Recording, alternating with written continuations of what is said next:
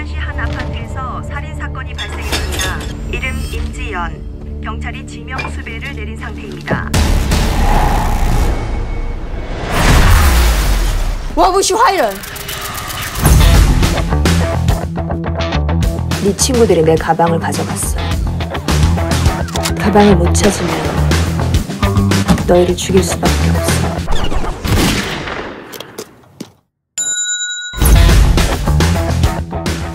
습격당했습니다. 안녕하세요. 안녕하세요. 와, 쉣. 처리해. 친구들이 약속만 지킨다면 바로 풀어줄게.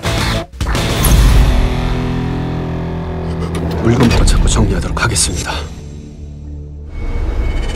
你跟他到底什么关系啊？没关系啊。没关系，你跟这韩国小娘们搂搂抱抱的。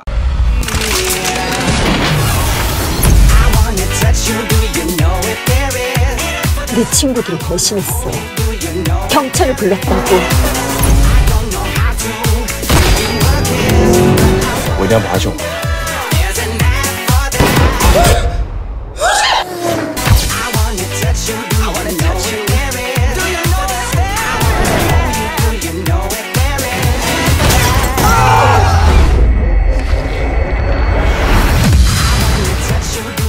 우리 집 X를 이기자. 什么是韩国铁甲呢？